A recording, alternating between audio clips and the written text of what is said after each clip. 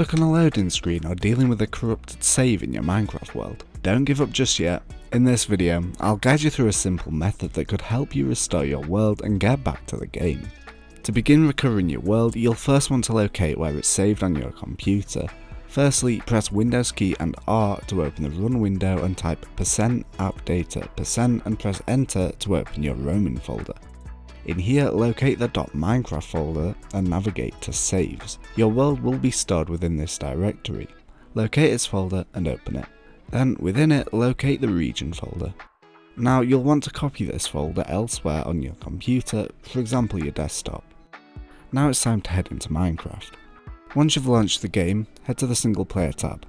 Now select the world you want to recover and hit the recreate button at the bottom of the screen. Make sure to check all of the settings are correct and then proceed to creating the world. Now you'll want to simply exit out of the world and head to your file explorer. Now locate the world you just created within the Minecraft saves folder and delete its region folder. In its place you'll want to drag in the previously copied region folder. When the files have copied over, head back to the new world. You'll notice that all of your builds are now in that world.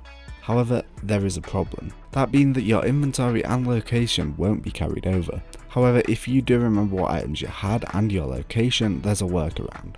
Simply pause the game and hit open to LAN, but make sure allow cheats is enabled.